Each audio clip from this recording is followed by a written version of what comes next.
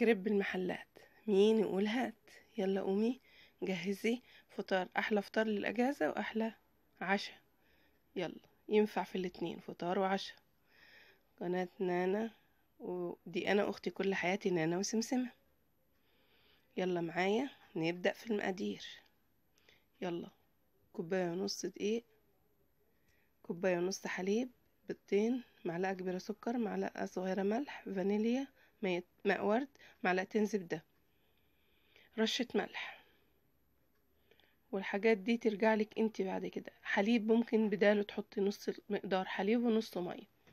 اللي انت تحبيه. معلقة زيت نمسح بيها الطاسة أثناء العميل الكريب. يلا كده معايا نبدأ. جبت بولة هحط فيها المقادير السايلة كلها. الحليب والبيض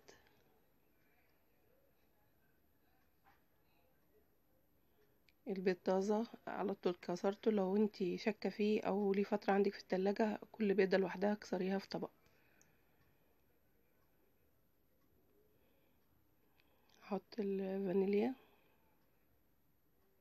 حسب الذوق. ماء ورد هنا. السكر. ذرة ملح.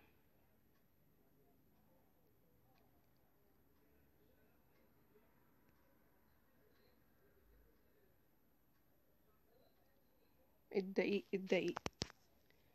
الدقيق أو الطحين. الاتنين واحد. دقيق أو طحين. هنا هضربهم كويس. بعد ما اضربهم هرجع لك هصفيهم عشان لا يكون في تكتلات جوه الطحين مع الدقيق مع الماء مع الحليب. بيعمل تكتلات عشان ما هوش سخن قوي. بعدين هنا خلصنا هحط نقطة زيت في الطاسة وامسحها وهبدأ أعمل حبة حبة كريب. هنزل هنا أنا طاستي بتاخد معايا ربع كوب معياري فانا هشتغل بيه علشان بحبها سمكها معين يعني لا هي تخينة ولا رفيعة. وهو كل ما يبقى خفيف بيبقى أحلى. كده أنا المعيار بتاعي على طول بجهزه. أنت أي معيار عندك لوش بكوباية بأي حاجة بإيد تعملي بيها عيار للطاسة بتاعتك وتشوفي أحلى حاجة أنت حباها قد كده وتستعمليها على طول. هنا أنا حطيتها على النار سويتها هحطها على النار لغاية ما يحمر أول وش وأقلبها الناحية التانية. وبإذن الله بتاخد أكبر وقت وهي في أول وش الوش التاني ما بياخدش وقت. أول ما يبقى الحواف بتاعها نشفت بتطلع. أول ما تطلع الحواف تقلبيها على طول. هي لوحدها بتطلع بتخلع من الطاسة. وأكيد كلنا عندنا الطاسة عديمة اللصق دي. بتسهل وبتخليه يطلع حلو ومفيش حاجة بتبوظ معاكي بيطلع من أول مرة. وهو كمان بنريحه ربع ساعة أو نص ساعة أثناء الشغل وانت شغالة بتريحيه يعني بعد ما تخلطيهم بتريحيه بيشتغل ويبقى زي الفل بعد كده. الحاجات البسيطة اللي بنقول لأ دي بسيطة بتبقى هي أساسي في الحاجة يعني بتنفع بتنفع جدا يعني. أما تريحيه بتاخدي منه أحلى كريب بيبقى الجلوتين اللي في الدقيق اشتغل وبتعرفي تاخدي منه أحلى دقيق أحلى كريب. شفتي هنا اللون بقى زي ما انت حابة لون الحمار بس شايفة هنا يعني كده الوسط أحسن حاجة. بصي بتلف إزاي معايا في الطاسة؟ معناها إن هي خلعت خلاص استوت من تحت. أنا هشيلها وهنبدأ في الحشوات. الحشوات حسب ذوقك. أنا هنا هعمل حلو حادق عشان ده فطار. أو عشاء يعني. هنا شوكولاتة مبشورة وشوكولاتة سايلة وفواكه فراولة. ومش مش شايفة الكريب طالع زي الفل إزاي. شايفة المقدار الصغير ده عطاني قد إيه حبة؟ ما شاء الله يعني. كتير. ما شاء الله. وبصي طري إزاي؟ ولا مغطية ولا مسوية. طالع من أول مرة زي الفل. أنا هنا هحشي كريمة. كترت شوية خدت حبة.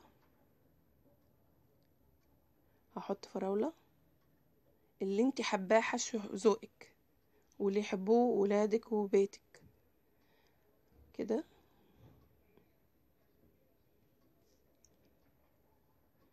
بصي كمان هنا حبة تانية.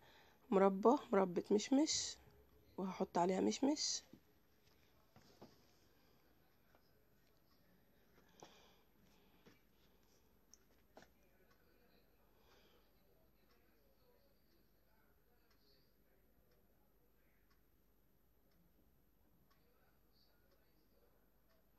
هنا هحط شوكولاتة. انتي وذوقك. إحنا بنحبه كده. انتي زي ما تحبي. عايزاه حادق بس يبقى حادق بس. عايزاه حادق وحلو يبقى حادق وحلو انتي حر. بشر شوكولاتة على الشوكولاتة سايلة وبشرها. مبشور يعني. شوكولاتة مبشورة. هنا هعمل الجبنة. إحنا جزئين جزء بيحب حادق وجزء بيحب حلو. فأنا عاملة الاتنين النهاردة. هنا حشيت جبنة بالزيتون والزعتر وزيت الزيتون. كمان واحد. جبنة قابلة للدهن بزيتون وزعتر وزيت زيتون. أي نوع انت حباه اعمليه. كده الحلو بتاعنا جهز والهنا والشفا. وزودت تاني جبنة وزيت زيتون.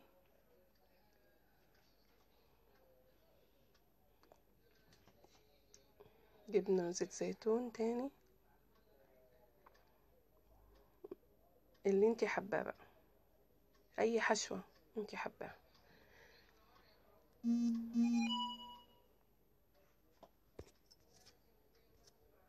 كده أنا هاخده هخليه على طاسة علشان ارمشه شوية عشان في ناس عندي بتحبه مقرمش حبة.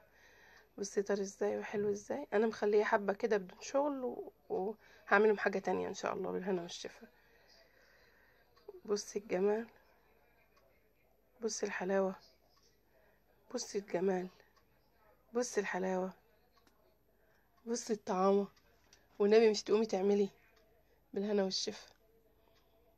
شايفة الجمال؟ الحلو والحادق يتاكلوا أكل بالهنا والشفا. نانا وسمسمة قناة نانا دي. أنا أختي كل حياتي.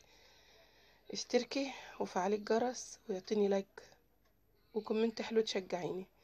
قناة نانا دي أنا أختي كل حياتي. بالهنا والشفا.